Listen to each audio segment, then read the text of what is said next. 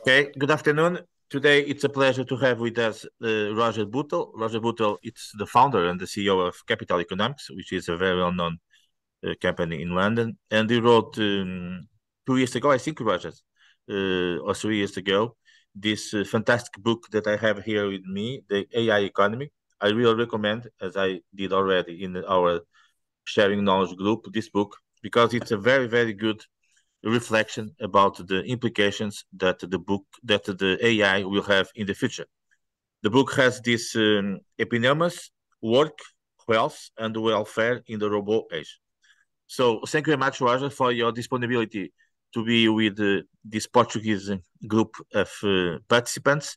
I think they will enjoy your keynote, and then, as usual, we have uh, an open discussion trying to see what is in fact the future of uh, artificial intelligence. So the word is you, and we wait for you. Thank you very much. Well, thank you. Thank you for inviting me. And I'm only sorry that I couldn't be with you physically in Portugal, where I suspect the weather's a lot better. Um, I like coming to Lisbon. I haven't been for a while, actually, but uh, I've been many times. Okay, so first of all, let me begin by saying that um, for my sins, I'm an economist. I'm not an expert in all the intricacies of AI. So the task I set myself in this book was to ask what I thought the implications were of AI for the economy overall. So it's really a book of economics about the implications of AI. You mentioned that um, the book was written a few years ago. In fact, would you believe it? It was written, well, it was published four years ago, actually. The paperback three years ago, but the original book four years ago. So I was doing the research on it sort of five and six years ago, immersing myself in a lot of reading. And I'm so pleased that I did that because it got me up to speed with so many of the issues that are being discussed now. I mean, over the last few months, the subject has just exploded. Unfortunately, uh, I had done a lot of the relevant reading some years uh, ago. Let me briefly say something about the shape of my remarks today. First of all, I want to start by talking about what all the fuss is about. Why are people so worked up about AI? What's different about it? I'm going to say a few things you might think it's out of place, but I don't think it is, about the Industrial Revolution, a historical perspective on, if you like, general purpose technologies. Um, I'll say a few words about what sort of jobs I think are going to be threatened by AI and what sort of jobs might be created by it. I'm going to have a word about the future of driverless cars about the prospects for increased leisure. Say something about the impact of AI on education, something about which countries I think are set to benefit most of all from it. And I'll say a few things about um, inequality and the implications of public policy. Okay, so let's get stuck in. Um, why? What's all the fuss about? Well, um, I have to say, looking back uh, through my reading, few years ago, what was very obvious to me was that AI has been through marked cycles in its brief history. That's to say, there are periods when people get ultra enthusiastic and investment and attention pours into AI. Um, the possibilities get talked up, some people might say hyped up. And after it fails to deliver, people lose interest again. If you like, it goes through alternations of feast and famine. Soon after my book was published in 2019, something of this sort happened again because when I was researching the book, AI was all the rage. And there were lots of books coming out with titles like They're Coming for Your Job. They meaning robots and artificial intelligence. Um, and the prevailing mood, by the way, was intensely negative. People were prevailingly worried about what AI spelt for humanity. Um, and pretty much soon after my book appeared, um, the subject fell flat. There wasn't much interest in it again. And I don't think it was because of my book. I don't think I can be blamed for that.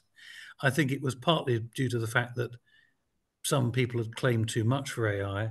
A lot of it was to do with COVID, I think, and the um, um, the impact of, of lockdown.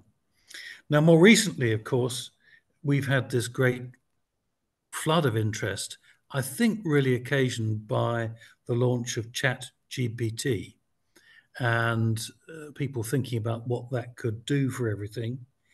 But even so, we've still got some intense skeptics on the scene. The American economic historian Robert Gordon, for instance, calls large language models stochastic parrots, which I think is a lovely expression. He's a big skeptic. So, why all the fuss? Well, I think at bottom, the idea is that this artificial intelligence is potentially so powerful that it can replace human beings in everything that human beings do. Uh, and that therefore, without much extension, it could potentially wipe us all out, either wipe us out economically or wipe us out directly, physically. Um, and uh, linked to this, you read people on the whole aren't economists say things like, well, you know, all human labor is replaceable by robots and AI. What's more, these things, let's call them things, although of course AI is a non-thing, uh, don't need to be paid, they don't receive pensions, they don't go on strike, they don't have employment rights, and so on and so forth. How on earth can humans compete?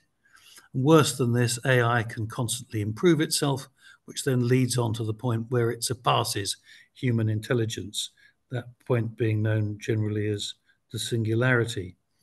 Now, when I first started reading all this stuff, I must say I was immensely skeptical. And then I started reading some views of people I, we can't do anything other than tremendously respect them. Stephen Hawking, the astronomer, physicist, and mathematician, said in 2014 the development of full artificial intelligence could spell the end of the human race.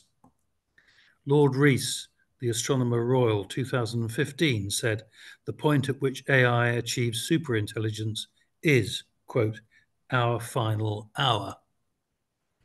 Well, who am I to challenge these people's views? I mean, they could be right.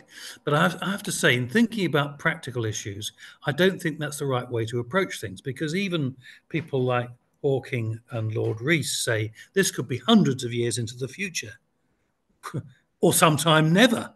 So, how are we supposed to take account of this in practical issues? Well, I think as practical people, whether we're governments, individuals, or households, we should go about ignoring it. That's to say, we should, contra- uh, we should concentrate on the practical issues of the here and now, of which there are plenty that are relevant. And for a start, investment in AI and robots is far from costless. It may not, they may not receive pensions, but all this stuff is immensely expensive. I'll come on to driverless cars in a moment. And I'm quite confident that human beings, at least for a considerable period of time, will find areas where uh, they can compete with robots and artificial intelligence.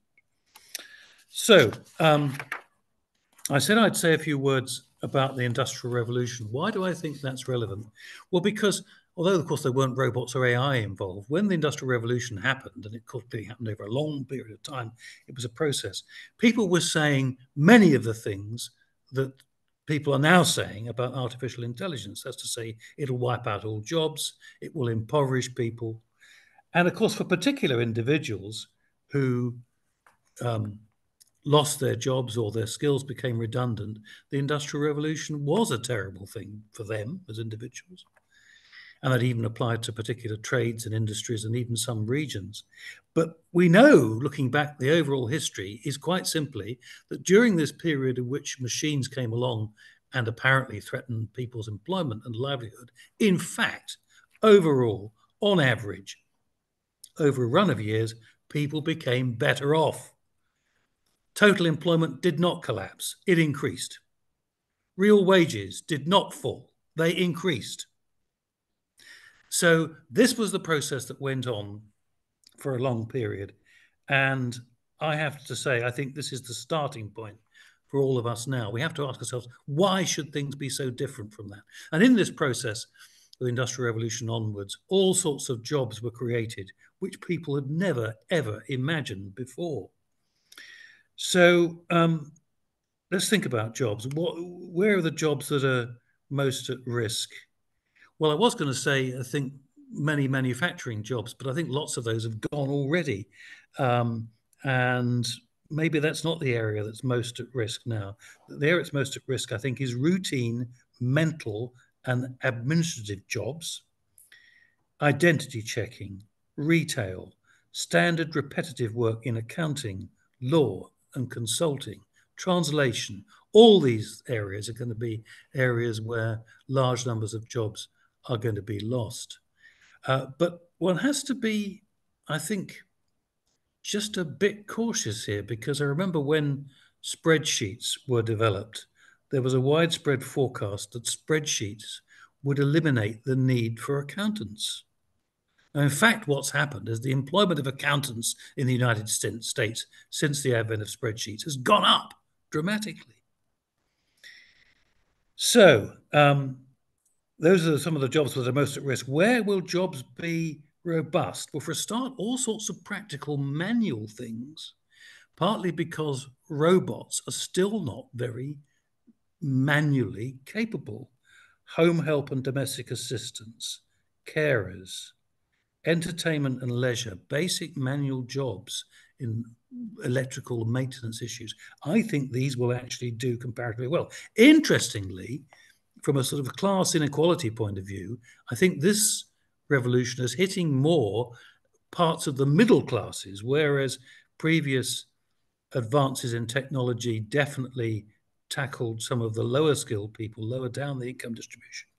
This is somewhat different, I think. There'll be all sorts of new jobs created. Where? Well, for a start, if there's one thing that artificial intelligence will never be better at than human beings, it's being human. They will never be better than human beings at being human. Now, I think there are all sorts of areas where human beings desire, and you might say even need, interaction with other human beings. And I think all those things are going to lead to a takeoff in jobs. Education, I'll come on talk more about education in a moment, but the interaction between teacher and student all sorts of advisory roles, issues about personal relationships, issues of service. Do we really want to be waited on by a robot? Do we want to receive medical advice from an AI program? I think the answer is no, we do not. And moreover, there will be lots of jobs created within the AI sphere itself. We all know that AI is potentially quite dangerous with regard to its ability to create fakes, fake messages, fake identities, fake everything. And the result of this is that there's going to be, it's already beginning now, a massive industry acting against that, trying to prevent it, trying to sift through um, identities, voices, pictures, trying to discern what is genuine and what is fake.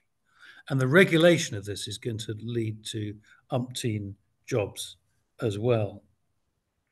So I said I was going to say something about driverless cars, um, and I will do that now, um, simply because I think it's an example of excessive hype. If you listen to the people in the industry, they've been banging on forever, well, forever, but for you know, 10 or 15 years, about the idea that driverless cars are just around the corner. And of course, the truth of the matter is they're not around the corner, they're here already, and they perform reasonably well. Although it has to be said that the tests involving them tend to take place in places like Arizona on clear roads with wonderful weather and so on and so forth. And the number of times that we're told, well, the driverless cars are wonderful, but there's a safety driver in the car. I think uh, we have a problem. Sorry? Can't hear you. Go on, go on. Everything is fine. Yeah, okay. we are hearing you. Okay, yes. okay, okay. Okay, you can hear me? Okay. So yep. uh, there's a safety driver in the car in case something goes wrong. Well, my point is quite simply so long as you have to have a safety uh, driver in the car, these things are not driverless at all, and they're worse than useless. These things only make a real difference when they're so reliable that you don't need a safety driver in the car. You get into the car, you tell it where you're going, you fall asleep in the back seat, you get drunk, or do whatever you do. As long as there are safety drivers involved, these things are utterly useless. Then there's the whole question of safety, which of course has been improved to some considerable degree, but it's still very less than perfect.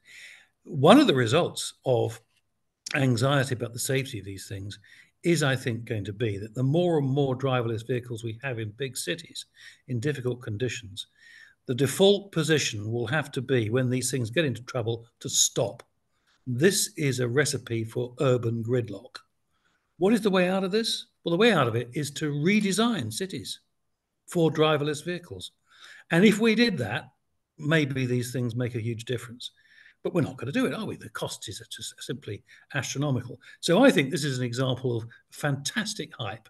What we're going to see is driverless vehicles, which we've had, by the way, for decades at airports, driverless shuttles, uh, driverless trains. We're going to have that sort of thing, driverless ferries, in driverless agricultural vehicles in very narrow confines. But the idea that all of us can simply get into a driverless vehicle to go anywhere, tell it what to do, and go to sleep, I really think it's for the birds. I think it's a bubble waiting to burst.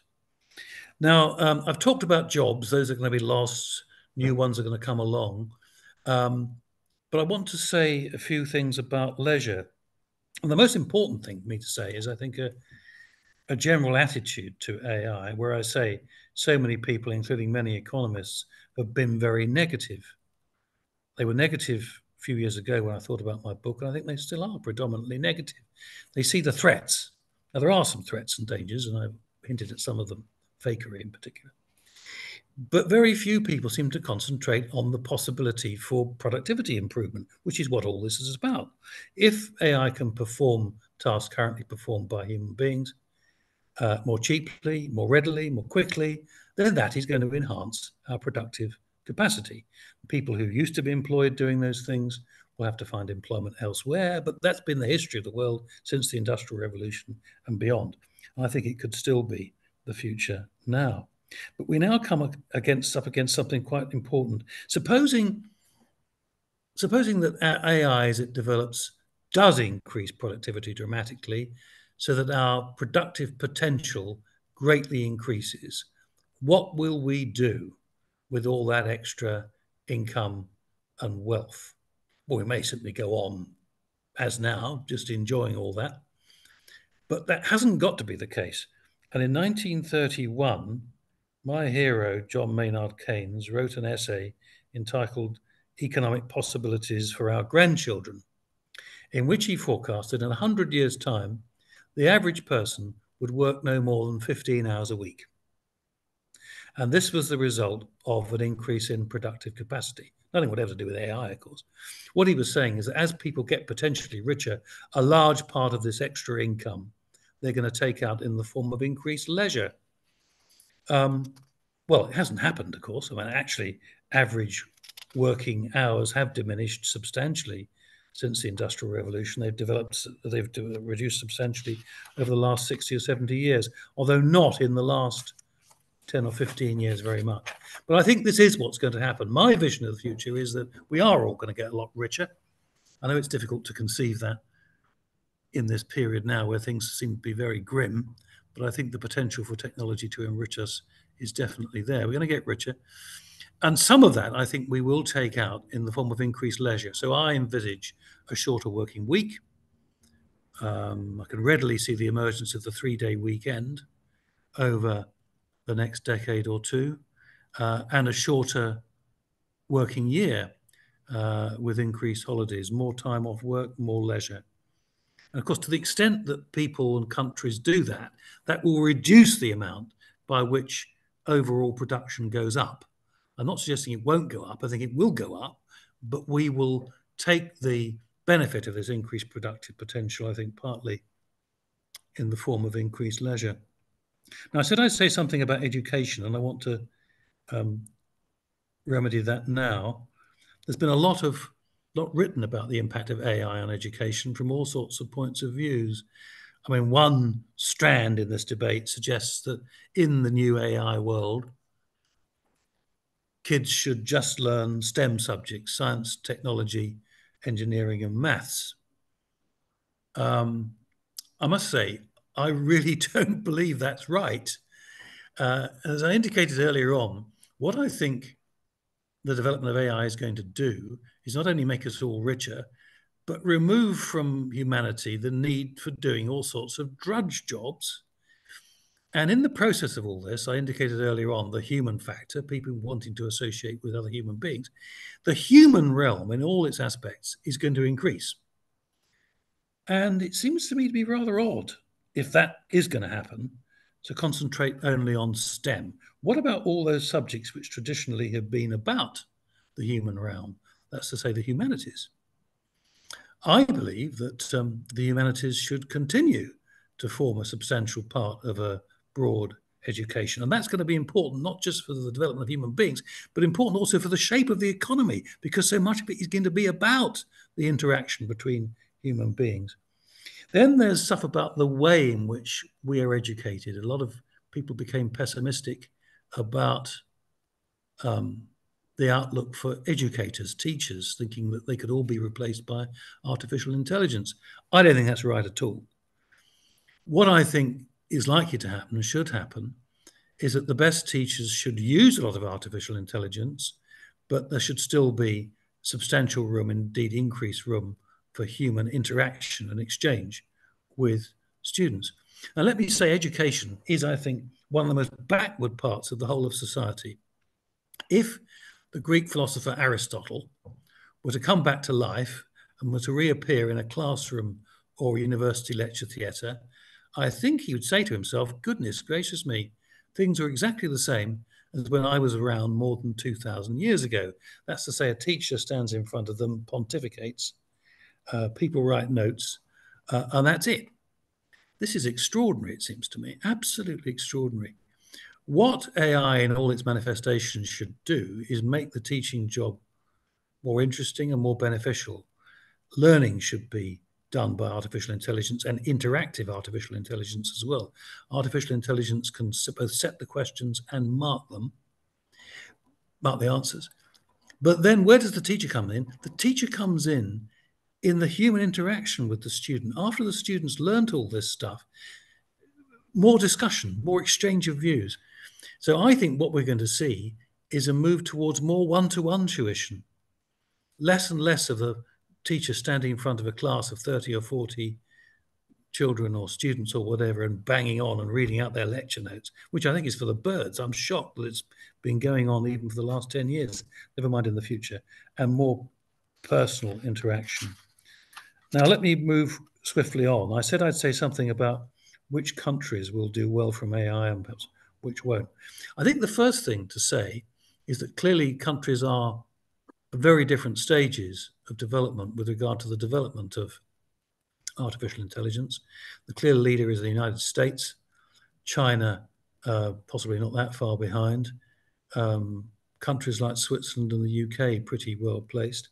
And the first thing I want to say, the most important thing to say, is you haven't got to be a leading producer of AI in order to benefit from it greatly.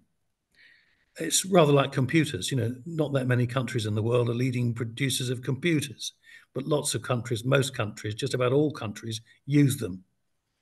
And it's the big issue deciding the impact of AI on prosperity is going to be this one. That's to say, to what extent do countries allow the full use of AI, and to what extent do some of them try to squash it over-regulate it, over-restrict it. And I think there will be some differences between countries in that regard. Um, I think there's got to be a slight worry that the EU may incline towards over-regulation. The United States, I suspect not. Switzerland, I suspect not.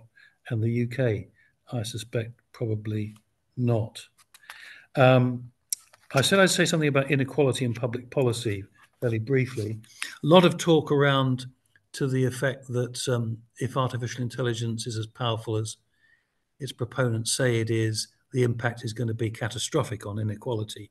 People losing their jobs, only having, if they're only jobs at all, they're, you know, sort of road sweeper type things, not paying very much money.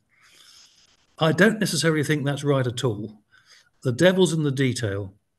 There are all sorts of areas where artificial intelligence can do really rather the opposite that's to say, it can make human beings more productive and empower them. And it's very interesting the way that, to me anyway, that so many of its benefits are going to occur in the service sector of the economy, where traditionally productivity growth has been very weak. We simply don't know how it's going to impact inequality. I think we need to sit back and see. The last thing we should be doing is making public policy to squash artificial intelligence on the grounds that it's going to make us all much more un- unequal. Rather, what we ought to do is let let AI have its reign. Of course, has to be appropriately regulated, but let it create prosperity. And then the issue is who owns who owns these benefits, and to what extent can governments, if needed, um, tax them and redistribute some of the benefits more widely. That's the approach I would take. A lot of people have talked about the benefits of a universal basic income. That's to say, states dealing with this issue by just agreeing to pay a certain sum of money to every every individual per week or per month, regardless of any qualification. Let's say you haven't got to be unemployed, you haven't got to be sick, you haven't got to be old. Everyone gets it just by virtue of the fact they're there. This is, idea has had a long and distinguished pedigree going back over centuries. I don't think it's a very sensible way forward. The costs of it are astro- astronomical, actually. The amount that needs to be dished out, uh, dished out to everyone from Bill Gates downwards, by the way. Bill Gates would get his universal basic income under the pure model, which I think is, and Jeff Bezos and all the others, which I don't think is a very sensible idea. I think we'd do better to refine existing methods for redistributing income uh, rather than going down that route. So let me bring matters to a conclusion. Um, pessimism versus optimism. There are things to be worried about, in particular, fakery and the ability of AI to mess up all sorts of things, not just for the sake of gaining money, but for political purposes too. The impact on elections and the political process is potentially damaging. So there's all sorts of things to be worried about. But in general, as far as the straightforward economic impacts are concerned, I don't think it's something to be worried about. It's something to be celebrated. This is just another version of what we've been going through since the Industrial Revolution. That's to say, the emergence of new technologies which destroy some jobs and create others, in the process, enriching us. There will be winners and losers, as there were in the Industrial Revolution. And we have to, as a society, I think, be careful, which we were not in the Industrial Revolution. We have to be careful to cushion the impact on the losers and make things better for them. There will be no shortage of jobs overall. There'll be a change in the job structure. And I indicated I thought that um, there would be human beings can choose, if they wish, to take some of the benefit in the form of increased leisure. And I think they will. And in particular, I think the three day weekend is coming. It's not that far off. Thank you.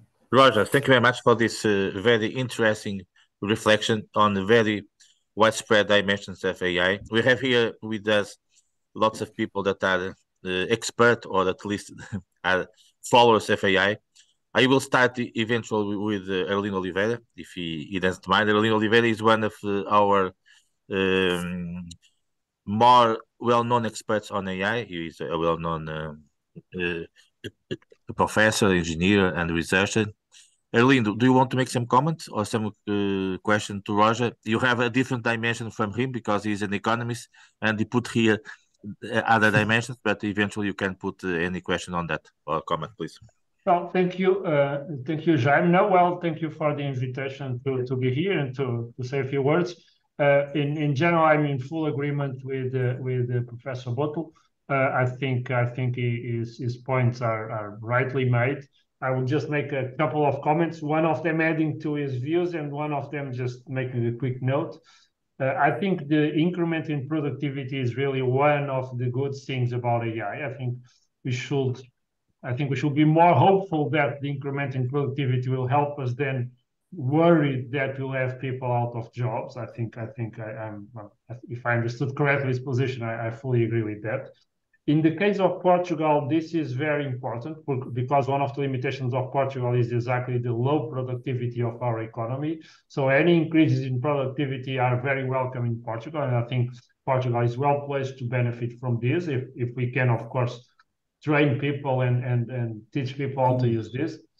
Um, the, the other thing that I think was not referred, I think it's important, is AI, because of this increase in productivity, also addresses a problem or helps addressing a problem, which is lack of qualified human resources. Since every professional will has the opportunity to become more productive, we, we can address some lack of uh, qualified human resources. And this is a second problem that Portugal has because our economy is not so competitive and our salaries are lower. So by increasing productivity and and addressing the lack of qualified human resources, I think AI has, is a good opportunity for Portugal. It's a good opportunity for all countries, in, in fact, but I think for some countries it will be even more important than for others. I think I'm fully aligned with Professor Roger Bootle on this. Just a note on the on the um, self-driving cars. I, I fully agree also with the analysis. It's a difficult it's a difficult application area because these cars have to be very very safe. It's not enough that they drive correctly 99.9% of the time. That that's that's. I mean, if it drives 999 kilometers and then crashes on the thousand, is not a, a very useful car. However, there is a there is a there is a silver lining. There are already a few cities, including San Francisco and some cities on Arizona, on there are driver, driverless cars driving around for a few years. Waymo has a number of these cars. Usually they do a good job. Sometimes they stop in the middle of the street for for no well-known reason, but in general they have been very safe. But I, I, I think that to be a very very common technology in all cities in the world, I think we'll have to wait a few years, a few, maybe even a couple of decades, because because the the, the, the precision has to be very very high. So they have they have to be not only as safe as humans, they have to be significantly more safe than humans. And we are still a few years from that, bearing some unexpected developments, some unexpected. But in general, just a note that I'm I'm in full agreement with with uh, Professor Bootle. Uh, one thing he did not make a reference to, but I can, is that the worries that there will be, you know, a takeover by by artificial intelligence systems taking care of the world for us and relegating humans to second-class citizens. I think uh, it's non-existent now, and I think it's a very distant worry in the in the next decade. So I think that is that that worry has been overblown, and people are worrying about the wrong things and maybe not worrying enough about the right things, which is disinformation, deep fakes, uh, information bubbles, and stuff like that. Thank you, Jaime, and thank you. Yes, yes, thank you, Arlindo, very much. Uh, Roger, you, you don't mind if I got two more comments and then you can no, make please, a comment on that? Please. Okay. We have here with us also Rogério, that is a CEO of a very important insurance company here in Portugal. Rogério, do you want to make some comment on uh, artificial intelligence, on what Roger, Professor Bootle told? Rogério, I don't know if you are okay. Sorry, sorry, I was mute actually. No, okay. um, well, I could I could actually make a comment, and I think honestly, um, I, I'm also not a technologist. Let's just say, although working in technology at some moment in my in my professional life. No, I I, I think your comments were very interesting, Roger, because clearly you are. We you are, are not seeing you, Rogério. I don't know. To, I don't know if you have oh, the camera sorry, working. Sorry, sorry, sorry. I, I, my mistake. Okay. Thank you. Okay. So your, your comments were very interesting. Clearly, you are um, a bit optimistic about the, the potential effects of this, but in, in reality, and I think Arlindo also mentioned this, in reality, we're still a bit far away from probably getting into a point in which it really becomes dangerous for us. Um, but but we don't really know as we are now. We don't really have a full picture about the potential of this technology meaning yes it's clear now that it can help. It can can really enhance the capabilities of of, of professionals and of human beings and that is a, a certainty that is a certainty. But it's it's it's not it's too early to say uh, that it will not end up in many many functions really replacing people for sure it is also not clear how many new professions will come up out of this. So there is, I would say, I would say that it's not a question; it's more a comment. I think it's it's it's safe to say that there is a lot of uncertainty uh, at this at this stage, and there is no need for us to be too pessimistic about the potential of the technology as we speak, because the the potential impacts on the economy are probably in the short term going to be more positive than than negative. That, that's that's basically my take of what you what you said, and I actually believe uh, I actually agree with you on that on that one. Okay. Okay, Roger, thank you very much. And finally, for the first set of comments, we have here Rui, Rui Dias Ferreira, that is a well-known entrepreneur, and now is doing a doctoral program on AI. Rui, do you want to make some comment questions so that we can pass to Roger? Yes, please, Jaime. Thank you. Uh, very quick ones. First, to uh, say thank you to Professor Bootle. Uh, it's uh, um, a very uh, interesting uh, topic, and we learn a lot from you. Thank you.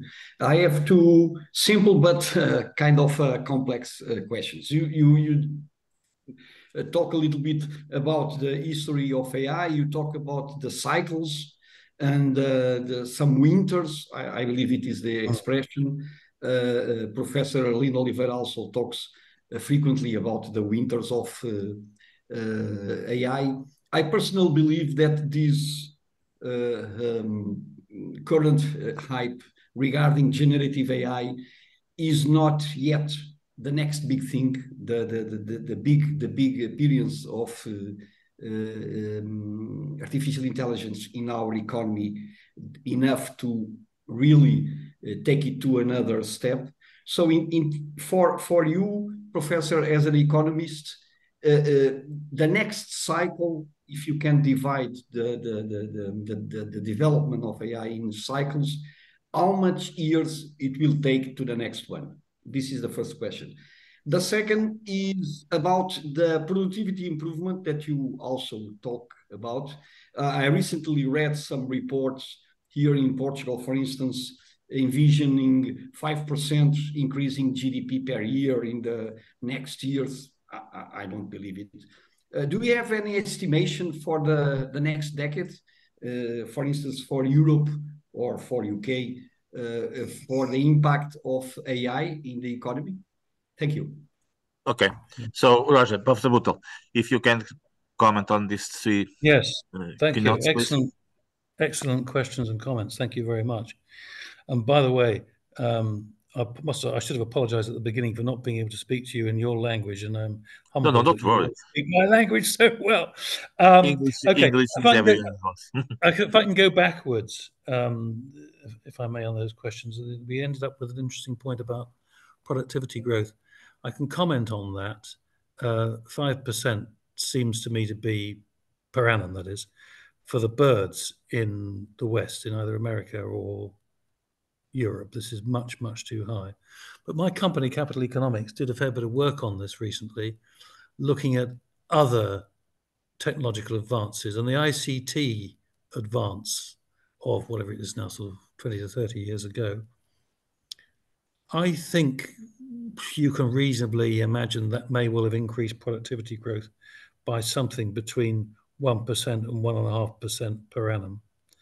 And I think you know, if AI is as good and as widespread and as effective as the proponents allege it's going to be, that's the sort of order of magnitude I think we should think about. That it's you know, increasing the annual growth of productivity and therefore economic growth by something like one to one and a half percent a year. Um, now that may not sound very much, but actually it is, because um, you know compound interest gets to do its work and in not that many years, that's taken to be a substantial increase, added to what the underlying increase was anyway. Now, recently, of course, it hasn't been very high, is it? Anywhere between a half percent and maybe two percent, something like that. So maybe this is going to increase productivity. It's going to result in productivity growth being of the order of three in the best countries, three and a half at the outside, rather than two, and for the weaker ones being mm, one and a half, possibly two percent, rather than a half or uh, zero. That's, I think, the scale of the transformation that we can reasonably expect. The working through the questions, um, I was asked about, you know, how long till the next stage of the AI cycle. Uh, that connects up with another comment by I think the same speaker, or perhaps it was the previous one, about the enormous amount of uncertainty. Indeed, there is so much uncertainty. I can't tell you about the um, uh, length of time to the next stage of the AI cycle. I have a suspicion that we are entering another one of those overhyped periods. We've made an advance with chat GPT and associated things. We've made an advance, but I suspect it's not quite as enormous as the uber optimists claim. And I just wonder whether there couldn't be a bit of a sense of disappointment, sort of one year, two years down the line, that we haven't achieved something more dramatic. That's been the history of AI, as I said, these waves of optimism and pessimism. And when you get disappointment, it's worse than that may sound because then people become very negative about it and the flow of funds is not there for new investments and so on and so forth. Um, on the point about eventually AI becoming some so powerful that it eliminates us, I don't want to disparage that idea. I think it's possible. Um, I suspect it's a long way off, and there are there. I think there's a distinction here which needs to be made. One is that AI is set up, or if you like, programmed in such a way as to be destructive of human beings and human interests. And possibly that could be done by a human being constructing AI deliberately, or it could be done unintentionally. That's to say, the thing is developed in such a way that that is the result, although the original progenitors of it never wanted that to happen. All that's possible. But that's something quite different, really. This is a distinction that needs to be made. Uh, I think something quite different from what, for want of a better word, I will use, I will call the development of consciousness. Can we imagine AI actually having this remarkable thing which human beings certainly have consciousness and self consciousness? Can we actually believe that? Such that what follows from that, of course, is intention, the power of intention. Could these things develop an intention and a will that they currently haven't got? Whatever they do at the moment is essentially pre programmed by human beings. Can they develop an independent will. Um, this is a subject in the literature much disputed. Uh, I'm very skeptical about this, uh, and I, I, write about this towards the end of my book. I think the sort of intelligence that human beings have, which of course is not perfect by any manner of means, but it's the intelligence which has got will as part of it, consciousness. I think it is intimately connected with our physicality, or to use another word, if you like, with our incarn- incarnation. I suspect it's the way the way we think is intimately bound up with that. So I suspect that um, AI will never develop in that way. Is my guess. I could be wrong, but the earlier thing I talked about is still eminently possible. That's to say, either intentionally or unintentionally, human beings develop this thing such that at some point or other they do all sorts of awful things that overwhelm us. I think that is I think it's definitely possible. I suspect it's not with us imminently, but I think it's. I do not dismiss it. I think it is a, a live danger. Um, on the question of, again of uncertainty, is all this uncertain? Of course, it's uncertain. And how do we react to uncertainty? Well, one way is to throw up our hands in the air say, "Oh, it's uncertain." I don't think that's very helpful myself.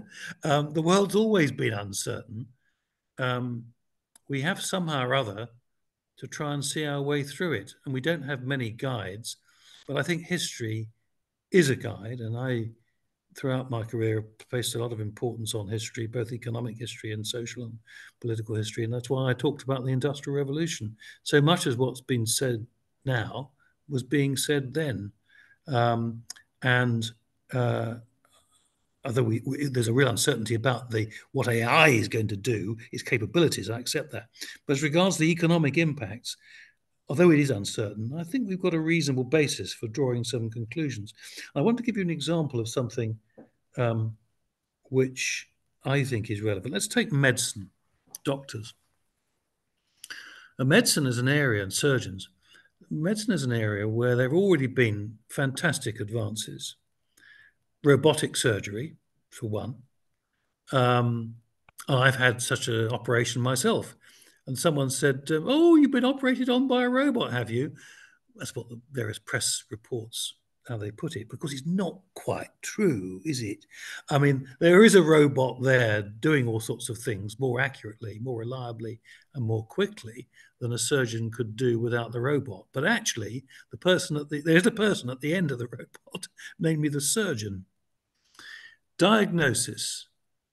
I think this is an area where AI can play an enormous role because it can sift through an enormous amount of material, far more than any ordinary doctor can. It can remain up to date in a way that um, a doctor can't, with all sorts of stuff about symptoms and treatments and so on and so forth. Nevertheless, does this mean that doctors are going to be redundant? I really cannot see this. I'm supposing, you know, you've got, you or I, you've got some ghastly symptoms. We've got some awful pain in the stomach. and we can hardly walk things are really grim. And we report not to our local doctor, but we report to our AI surgery who we interact know, with some sort of screen a bit like this. It asks us questions and it whirs, makes all sorts of noises. At the end of all this, it says, Well, Mr. Bootle, I'm afraid you've got a very serious condition called. And the result is you're going to have to have your right leg amputated. Um, do you want to proceed with that this afternoon or can you wait till next week or whatever? I don't think many of us are going to sit there and take that, as it were, lying down. Oh, so yes, Mr. AI, okay, thank you very much. I'll have my right leg amputated. I don't believe it. There will have to be a medical intermediary, let's call him a doctor, standing between us and the AI. We are not going to submit ourselves to these life changing decisions on the basis of something that emerges from a computer or its equivalent. We're just not going to do it. It goes back to what I said earlier on about human beings, human beings wanting contact with other human beings and trusting them. And I finally will make another comment about driverless vehicles. I think the reason I focus on driverless vehicles is I think because they're really interesting because um, there have been enormous advances, as one of your speakers said. You know, there are parts of California and Arizona where there are large numbers of these things driving around perfectly well without incident. So there have been real advances. However, there's also massive overhype. That's what makes it so interesting, trying to strike the right balance. Now, I think one of the aspects of driverless vehicles that is potentially really dangerous, and this goes to the negative aspects of AI we were talking about earlier on, is the possibility for the system that controls driverless vehicles being taken over by terrorists. I mean, it's one thing for uh, an individual terrorist or a group of terrorists who, you know, drive around in cars in San Francisco or London or whatever with the objective of killing a few people. It's quite another thing to imagine a whole fleet or all vehicles in a country being misdirected by a malevolent form of artificial intelligence or human intelligence using uh, driverless cars. This is potentially extremely dangerous. Um, so I remain very skeptical. Okay, uh, Roger, we can make a second round and then we'll finish. We have here with us Ana Paula Reis, that is an entrepreneur and well connected with the technology and innovation. Anna, do you want to make some comment and question to Roger, please? Hi, uh, thank you, Jaime. I, I would like to make uh, some questions. More, yes, okay. I think it's it's inevitable. Uh, of course, there are fears, but uh, we will have to face them and, and put into place and work on it, uh, and not, as you say, doom and gloom and uh, and all that. My question is, um, I think that speed here is even more important than before. So the speed of implementation, speed of adoption, uh, and their education has a huge role because we are mm-hmm. thinking, we are discussing this issue here, but still, I think that probably we are the one, two percent of people that really are concerned about that all over the world. So my my my my question is, what can we do to spread the world to educate more people? Because as I mentioned, speed is important uh, countries like Portugal currently, I think, could benefit immensely from uh, serious implementation uh, of AI on the correct matter. But that implies a lot of political, institutional policies that would like that to happen. So the other question is, what role models are there for us to follow? Uh, probably, I, I, was not thinking, okay, the US is more advanced, but are there niche uh, examples that we should look at and follow to see where we could actually um, go? Um, and the last thing is, what advice would you give to us, in particular to in, entrepreneurs uh, in this space? That's it. Mm-hmm. Thank you. Okay. So I don't know if Jorge Gomes, that is um, also an economist and a professor of economy, and usually also studies these topics of technology innovation. Josh, I, do you want to make any comment or question to Professor Roger Bootle?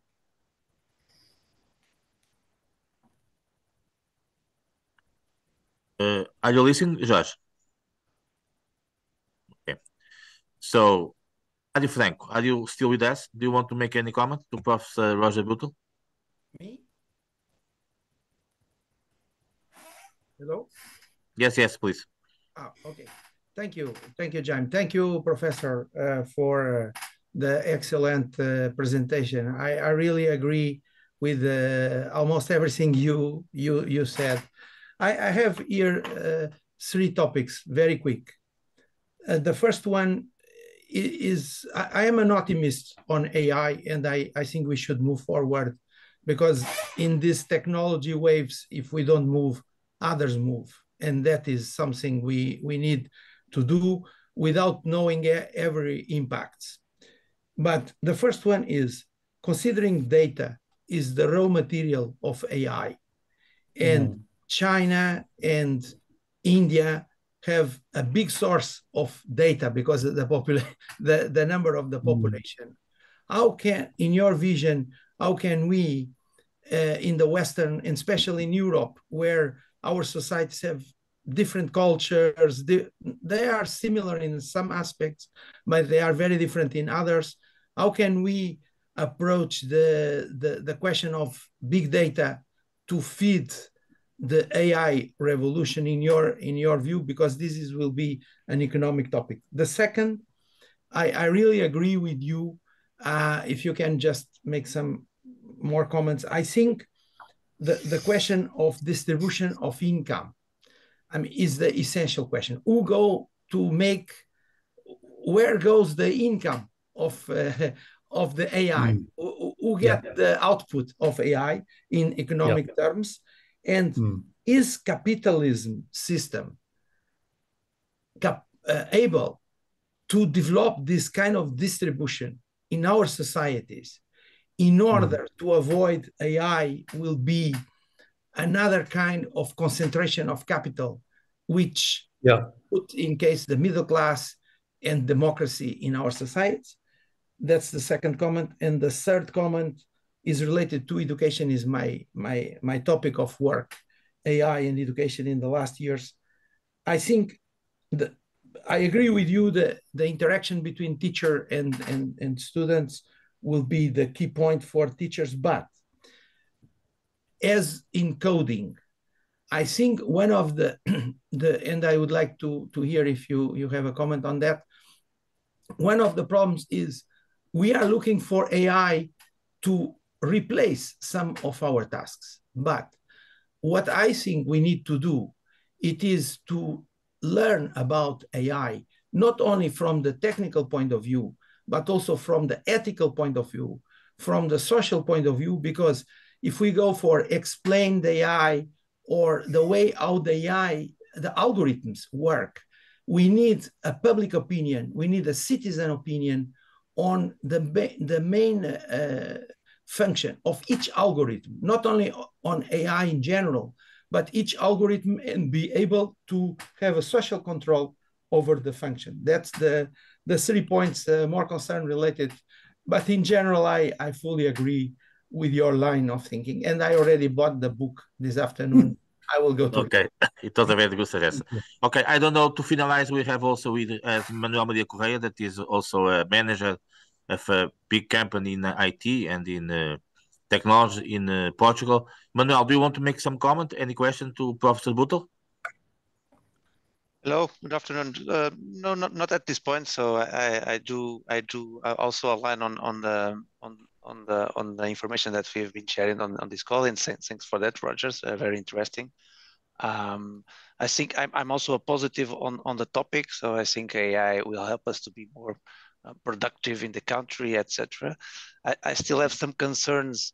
How as as as a country can we compete uh, with other countries that have biggest investments, more resources, etc. That's also was it was mentioned here. So my main worries are the ones that were discussed uh, here during this this last hour. So I just uh, okay. take this opportunity to to thank to thanks the to thanks the the, the debate mm. and and all the information. Okay, thank you. So. Dr. Bootle, you can now comment and then we'll conclude in time as yes. usual. Well, thank, thank you. you very much. By the way, I think I'm right in saying that there hasn't been a Portuguese edition of the book. There have been various other foreign editions. There's a Chinese edition actually. It's quite funny but, uh, because we will try to work on that. Okay, we will try to work on that. There have there have been Portuguese editions of my previous books actually, not all. Yes, yes, yes, yes, anyway. yes. I've um, confirmed that. Okay, there's a variety of questions. I won't be able to answer all of them. Um, someone mentioned about speed, and um, it's a very important point to raise. Every so often, you pick up the viewpoint that the speed is frighteningly fast, and this is one of the things that's going to overwhelm us. I know why people say this, but you know, I'm not sure it's I'm not sure it's quite right. Um, I, I, certainly, all sorts of previous technologies have been pretty slow, really, whether it's steam engines or light or whatever. That's to say, the new technology coexists simultaneously with the old technology for quite a long time. Now, I quote an example in the book which I, I find very amusing, uh, but I think it has got some wisdom in it, which is of a friend of mine arriving at Heathrow Airport about three or four years ago, uh, and used to having huge queues getting through the man, uh, the man-made uh, passport control, and there, since then, of course, there are all these banks of um, digital control where you simply show your passport, you put it on the screen, and suppose it lets you through. And she came through one late at night, this is say four or five years ago. and there were even enormous queues, even more than usual. And she inquired why this was. And um, the answer was that the nearly all of the automatic passport machines had been closed down. And she said, Well, why is that? And the answer she got was staff shortages. She said, Hold on a minute. I thought the whole point was these machines were supposed to do away with human beings. Ah, oh, yes, came the answer. But the trouble is, not everyone can use them very well, and people get stuck in them. They make mistakes in using them. And the result is, you need actually human beings to deal with the people going through the automatic passport machines. Now, I thought that's very funny. But actually, uh, it accords with my own experience. Now, ultimately, it's already happened, actually. These things have got better. And ultimately, we'll need hardly anybody uh, any official. But it, actually, to get to the position where you really need next to nobody, it takes quite a long time. Now, I'm hopeful that as AI moves through society and through the economy, I don't think it'll be at breakneck speed. I think it'll be fairly gradual, actually. And that's important because it gives us time to adapt. Um, and the economy does need time to adapt, and people need time to learn new skills, do new jobs, and so on. Um, uh, a question about education. How do we educate people to uh, cope with AI? It's a good question, but I'm not at all convinced it's the right one. Uh, I mean, there should be, no doubt, some parts of ordinary education which help people to cope with this. But I'm wondering about ICT. I mean, there were in your country, presumably as well as this country here, schools eventually latched on to the importance of computers and they started teaching computing skills. But is that actually how uh, most of us learnt to use a computer? I would argue that it isn't. Actually, people largely taught themselves. And that's certainly true with regard to mobile phones and all the things that can be done with them. There were no classes in how to use a mobile phone uh, people just picked it up. They taught themselves. And I think a lot of what's got to happen will be of that nature. And then it also goes back to what I said earlier on about um, human beings and the human realm. See, I think a large part of what all this is going to do is to put increased importance on human relationships and the human realm. So, what education has got to do, I think, is to find those aspects of employment and societal interaction which are still going to be very, very much about human beings and the way they interact, uh, and train people for that. You see, I, and so I point about humanities. Um, okay, there are going to be job losses and a lot of jobs currently done by human beings are going to be done by some form of AI. Does that mean we should end up learning an awful lot more about AI? Well, I'm not sure it does. I think it means we should learn, learn an awful lot more about human beings and human interaction because that's where our jobs are going to be. How are people going to interact with each other? Now, in the last sort of 50 years, or maybe the last 150 years, uh, it's been possible for large numbers of human beings to be barely able to speak their own language, never mind other languages, to stand on a production line and do something like this or that, um, mumble something rather incomprehensible, and it hasn't mattered. Well, those jobs are virtually all gone. Similarly the ones that are in the mental equivalent, that's to say, in the accounts department, you know, inputting data or scrabbling through files or piles of numbers or whatever, they're all going as well. Uh, so it's very important that what we teach because of AI is human skills, because that's where the future for human beings is going to be, dealing with other human beings. Role models. I can't think of a suitable role model, I have to say. When someone mentioned the United States, um, well, there are aspects of all this where the United States is doing terribly well. Um, certainly in advancing AI in the universities and the big companies, of course, it's in the lead. But we don't know, do we, about how the United States is going to deal with the economic and social impact? We don't know. Uh, and I think it's not a good example, actually, for us. When you look at the distribution of income in the United States and how people at the bottom end are treated and what they undergo and how much support or lack of it the state provides. I, I don't think the US is a good example, actually. I don't know that we've quite got one at the moment, unfortunately.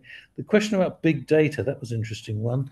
You know, China, huge economy, India recently surpassed it in population size. Does that give an advantage that the rest of us can't hope to compete with?